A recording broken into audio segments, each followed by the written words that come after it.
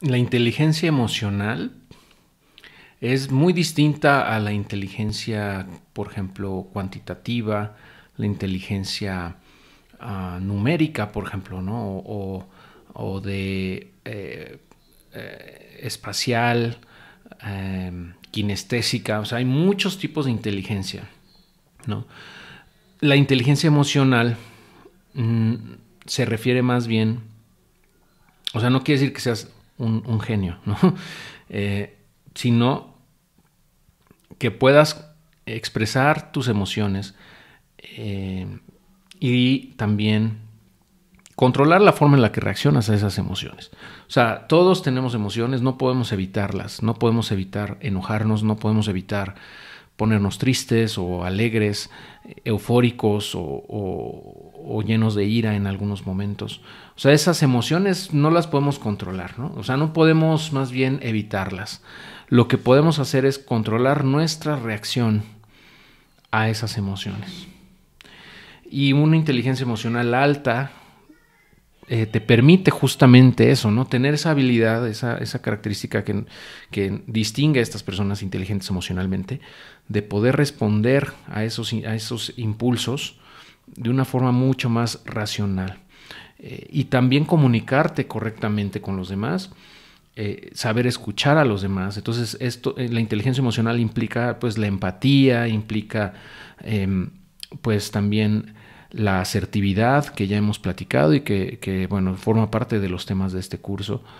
Eh, entonces, en conjunto, o sea, si, eres asertivo, si eres, si eres eh, empático, eh, si tienes una buena habilidad de comunicación, ah, si tienes una forma de ver el mundo estoica, digamos, o sea, tratas de ser estoico en, tu, en tu vida, seguramente eres inteligente emocionalmente.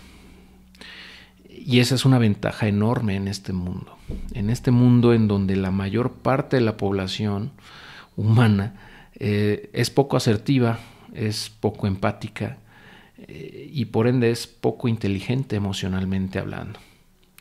Es una ventaja injusta, si lo quieres ver así, ya que el ser inteligente emocionalmente te va a permitir poder responder de forma adecuada a cualquier cosa o cualquier situación que se te presente y vas a poder interactuar de mucha mejor manera con los demás.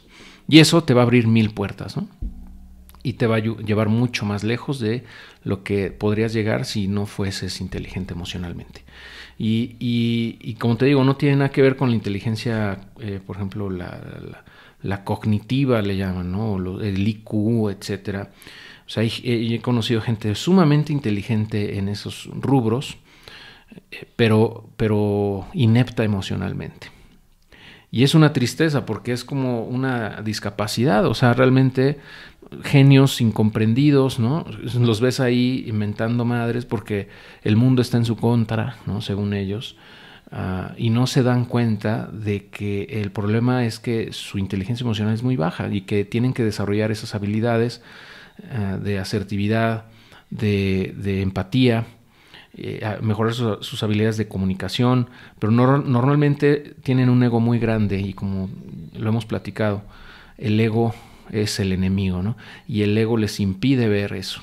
Eh, entonces, bueno, desgraciadamente van a pasar la mayoría de ellas pues, toda su vida pensando que el mundo está mal, ¿no?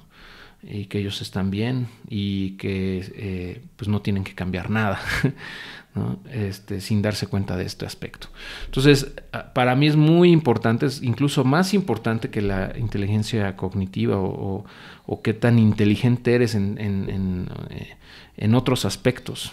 Yo creo que esta es la más importante de todas las inteligencias. Eh, entonces, eh, pues vale la pena que le eches un ojo, ¿no? Sin duda, a, adentrarte en este tema de inteligencia emocional. Que bueno, fue, fue desarrollada inicialmente, si no mal recuerdo, por Daniel Goleman. A ver, vamos a ver el libro. Así es, mira, aquí está justamente este libro de Daniel Goleman que se llama La inteligencia emocional. Yo lo leí hace muchos años eh, y está muy bien, muy bien escrito. Ahora, habrá quien te diga, oye, pero la inteligencia también, pues, hay inteligencia amorosa, hay inteligencia X y Z, ¿no?